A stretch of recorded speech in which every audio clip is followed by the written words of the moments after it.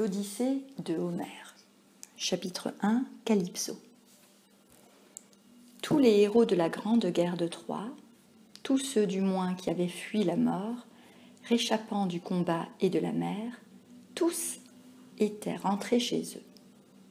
Mais lui, le divin Ulysse, loin de son pays et de sa femme, il était prisonnier de la nymphe Calypso qui brûlait d'en faire son époux. Dans son royaume, en Ithaque, personne ne croyait plus au retour du héros. Depuis vingt ans qu'il était parti sur son navire arqué pour la maudite Troie. Les jeunes seigneurs du pays s'étaient installés dans son palais. Ils passaient le temps à banqueter, à dévorer les biens d'Ulysse. Pire, ces misérables assaillaient Pénélope, la suppliant de choisir l'un d'eux, de l'épouser, d'en faire le nouveau roi d'Ithaque. Mais la reine refusait. Elle espérait toujours que son Ulysse généreux reviendrait. Pour tromper les prétendants, elle inventa la ruse de la toile. Mes jeunes prétendants, leur dit-elle, je sais bien qu'Ulysse est mort, mais laissez-moi finir mon ouvrage. C'est un linceul pour le noble Laerte, le père d'Ulysse. Quelle honte pour moi s'il était porté nu en terre quand la mort l'aura fauché. Les prétendants cédèrent. La reine passait ses jours à tisser l'immense toile, mais la nuit, à la lumière des torches, elle venait la défaire. Hélas, une servante trahit son secret. La reine allait bientôt ne plus pouvoir refuser les noces. Cependant, son fils, Télémaque, avait grandi. Comme il voulait régner en maître chez lui, il s'en prit violemment aux prétendants et leur ordonna de quitter le palais. Mais que pouvait-il, seul contre eux si nombreux? Le jeune prince décida donc de partir vers d'autres cités à la recherche d'hommes qui sauraient quelque chose de son père. Ce fut l'époque où les dieux décidèrent qu'Ulysse rentrerait dans sa demeure en Ithaque, car tous le prenaient en pitié sauf Poséidon, le maître de la terre, qui ne lui pardonnait pas d'avoir aveuglé son fils, le Cyclope. Mais un jour que Poséidon était allé au bout du monde, les autres dieux se réunirent dans le palais de Zeus, le Tout-Puissant qui tonne dans le ciel. Athéna leur contait les malheurs d'Ulysse. Elle ne l'oubliait pas, inquiète qu'il fût retenu chez la nymphe Calypso. Père Zeus, et vous, Dieu bienheureux, il faut que les rois ne soient plus jamais ni doux, ni bienveillants, ni justes, mais violents et injustes, puisque personne ne se souvient d'Ulysse parmi les gens d'Ithaque, sur lesquels il régna comme un père plein de douceur. Le voilà qui endure de cruelles souffrances dans l'île où la nymphe Calypso le retient. Il ne peut retourner dans sa patrie, car il n'a ni compagnon, ni navires à rame pour le conduire sur le vaste dos de la mer. Zeus, l'assembleur des nuées, lui répondit Mon enfant, quelle parole t'a échappé Mais allons, décrétons le retour d'Ulysse. Poséidon oubliera sa colère, car il ne pourra rien contre tous les immortels. Il dit puis se tournant vers Hermès, son cher fils. Hermès, messager des dieux, va dire à la nymphe aux cheveux bouclés que nous avons décrété le retour d'Ulysse, qu'elle le laisse partir. Mais aucun immortel, aucun mortel ne l'accompagnera. Seul, sur un radeau et subissant de nouvelles douleurs, il atteindra, au bout de vingt jours, la fertile Scérie, terre des Phéaciens qui descendent des dieux. Ceux-ci l'honoreront comme un dieu et le ramèneront dans sa patrie. Ils le couvriront de plus de bronze, d'or et de vêtements qu'Ulysse n'en aurait rapporté de Troie s'il était revenu sain et sauf avec sa part du butin. Son destin est de revoir ses amis, de rentrer dans sa haute demeure et dans sa patrie. Il dit, et le messager rapide et clair obéit. Aussitôt, il attacha à ses pieds ses belles sandales d'or qui le portent sur la mer et sur la terre immense aussi vite que le vent. Il prit sa baguette qui ferme les yeux des hommes ou les réveille quand il le veut. Enfin, il plongea du ciel, s'élança sur la mer, rasant comme une mouette les flots innombrables.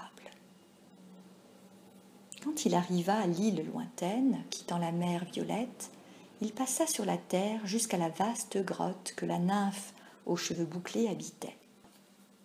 Il la trouva devant un grand feu. L'odeur du cèdre et du touillat ardent parfumait toute l'île. La nymphe chantait d'une belle voix, tissant une toile avec une navette d'or. Une forêt verdoyante environnait la grotte. À l'entrée poussait une jeune vigne dont les grappes mûrissaient. Quatre sources d'eau claire arrosaient de molles prairies de violettes et de persil. Le messager rapide et clair s'arrêta et, ayant tout admiré, entra dans la vaste grotte. La divine Calypso le reconnut, car les dieux se reconnaissent toujours. Dans la grotte, Hermès ne vit pas Ulysse, le généreux. Assis sur le rivage, le héros pleurait et déchirait son cœur de sanglots et de gémissements.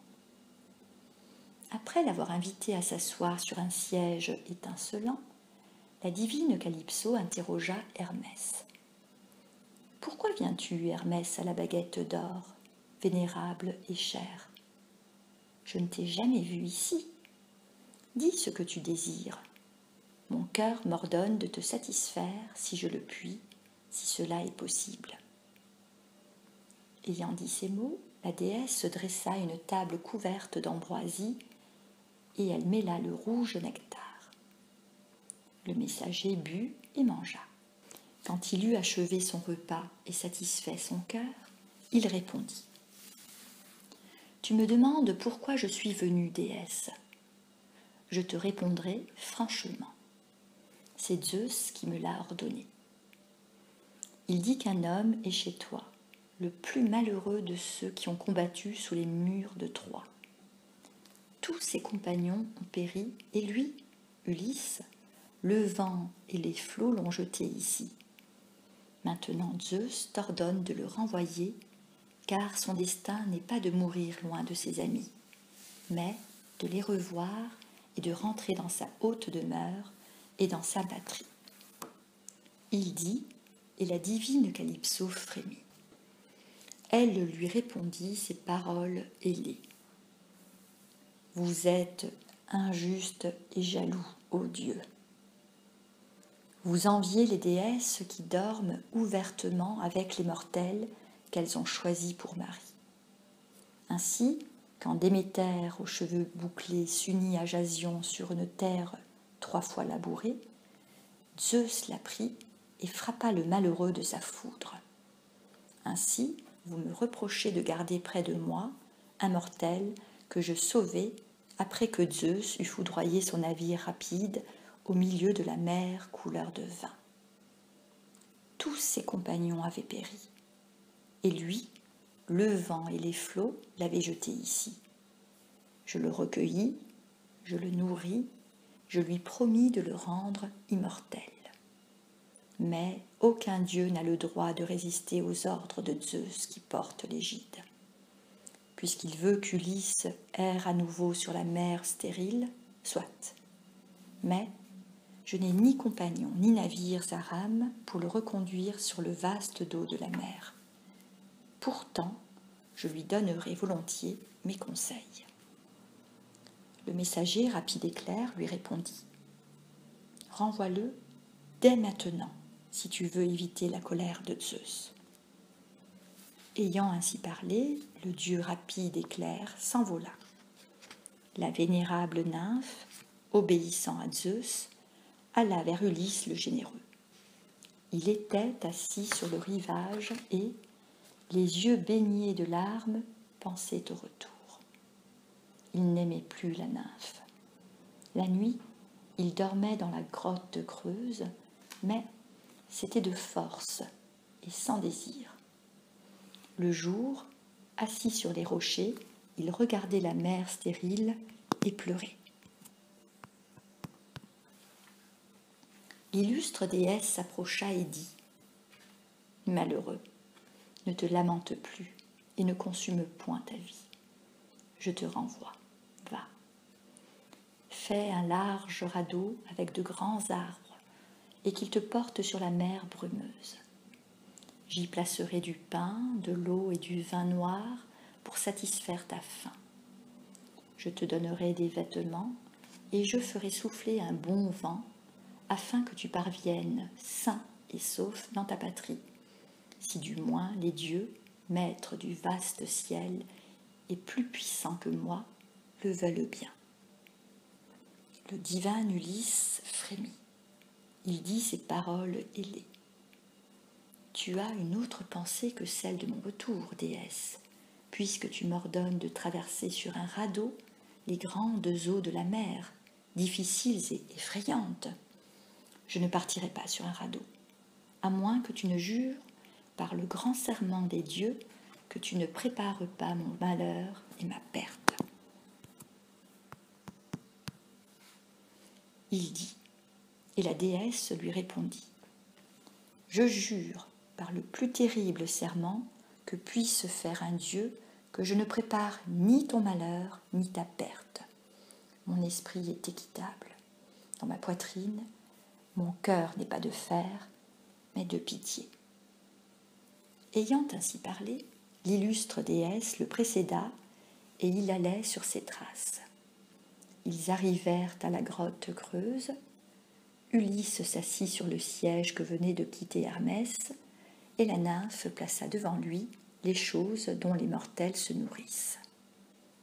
Elle s'assit à ses côtés, et ses servantes lui portèrent l'ambroisie et le nectar. Quand ils eurent assouvi la faim et la soif, le soleil se coucha et les ténèbres survinrent. Se retirant au fond de la grotte creuse, ils se livrèrent à l'amour, couchés ensemble.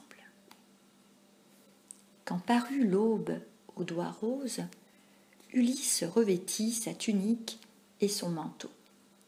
La nymphe se couvrit d'une grande robe blanche légère et gracieuse, mit autour de ses reins une belle ceinture d'or et sur sa tête un voile.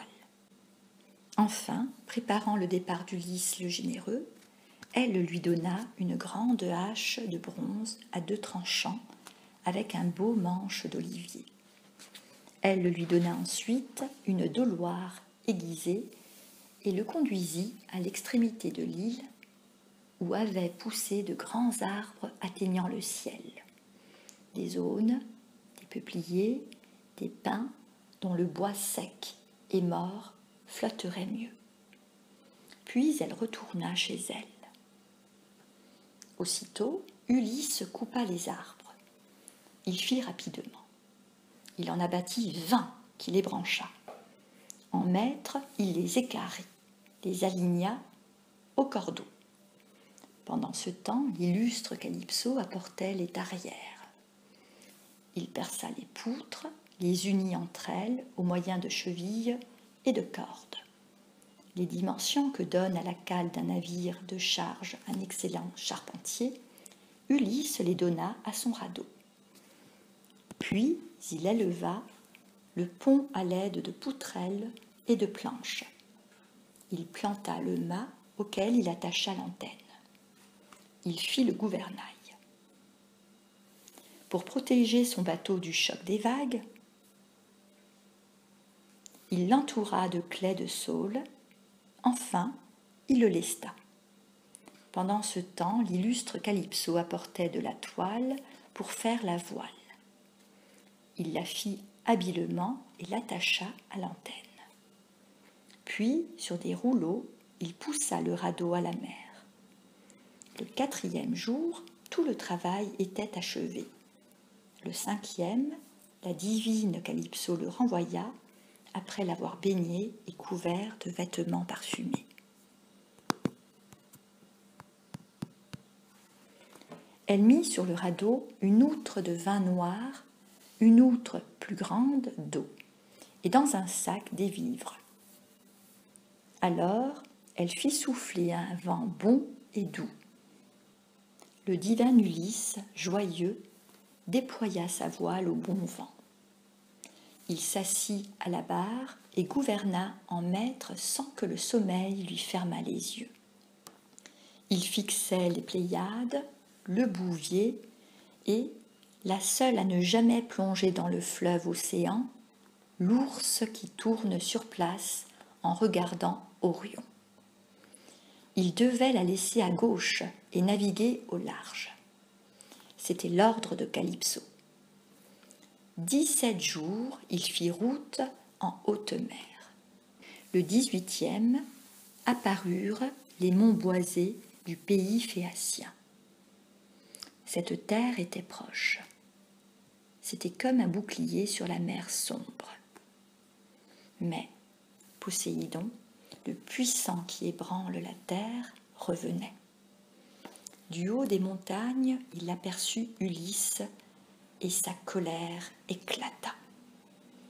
Il amassa les nuées et souleva la mer. Saisissant son trident, il déchaîna tous les vents, couvrit de nuages la terre et la mer. La nuit se rua du haut du ciel.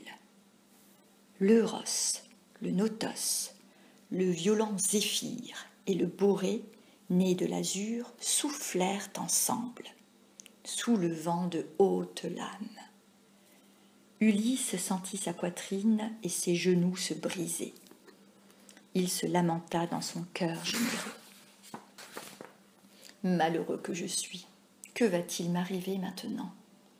De quel nuage Zeus couvre le ciel?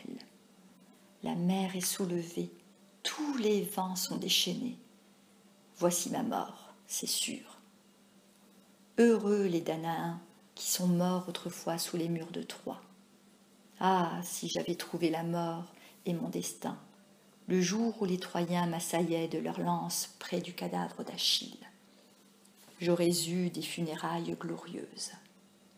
Aujourd'hui, mon destin est de subir une mort obscure. Il dit Une haute lame effrayante s'abattit sur lui et renversa le radeau. Ulysse fut emporté le gouvernail arraché de ses mains. La tempête horrible des vents confondus brisa le mât. L'antenne et la voile tombèrent à la mer. Ulysse resta longtemps sous l'eau, ne pouvant ressortir. Ses vêtements l'alourdissaient. Il reparut enfin, recrachant l'eau salée. L'écume ruisselait de sa tête. Mais il n'oublia pas le radeau. Nageant avec vigueur, il le ressaisit et s'y assit pour échapper à la mort. Alors, la fille de Cadmos, Ino au beau talon, aperçut Ulysse ballotté par les vagues et le vent. Elle le prit en pitié. Se posant sur le radeau, elle le dit Malheureux, pourquoi Poséidon qui ébranle la terre t'accable-t-il de tant de maux? Mais il ne te perdra pas. Fais ce que je vais te dire. Quitte tes vêtements, abandonne le radeau et nage de tes bras jusqu'à la terre des Phéaciens, où tu dois être sauvé. Prends ce voile, étends-le sur ta poitrine. Il te protégera de la douleur et de la mort dès que tes mains toucheront le rivage, sans regarder, tu le rejetteras au loin dans la mer couleur de vin. La déesse, ayant ainsi parlé, lui donna le voile et replongea dans les vagues. Mais l'infortuné Ulysse se méfiait. Il redoutait une ruse. Tandis qu'il hésitait, Poséidon qui ébranle la terre souleva une énorme lame, effrayante, lourde, haute, et il la précipita sur Ulysse. Comme le vent éparpille un monceau de paille sèche, ainsi la vague éparpilla les poutres du radeau. Ulysse enfourcha une poutre. Il ôta les vêtements que Calypso lui avait donnés, déploya contre sa poitrine le voile d'Ino et, se jetant à la mer, il étendit les bras pour nager. Le puissant qui ébranle la terre le vit et, secouant la tête, il dit en son cœur Va, souffre encore mille mots sur la mer. J'espère que tu ne riras plus de mes châtiments. Il dit et poussa ses chevaux aux belles crinières vers Égès, son palais sous-marin. Mais Athéna, fille de Zeus, avait d'autres pensées. Elle arrêta les vents, ne laissant souffler que Borée. Deux jours et deux nuits, Ulysse erra par les flots sombres. Il vit souvent la mort en son cœur. Mais quand l'aube aux cheveux bouclés amena le troisième jour, le vent retomba. Ulysse aperçut alors la terre toute proche. Il entendait gronder la mer contre les rochers. Les vagues se brisaient, effrayantes, sur la côte. Il n'y avait ni port ni abri pour les navires, rien que des écueils et des récifs. Il nagea, examinant la côte et cherchant une plage. Il arriva à l'embouchure d'un fleuve aux belles eaux et vit que l'endroit était bon, bien abrité et sans roche. Alors il supplia. Entends-moi, ô roi, qui que tu sois.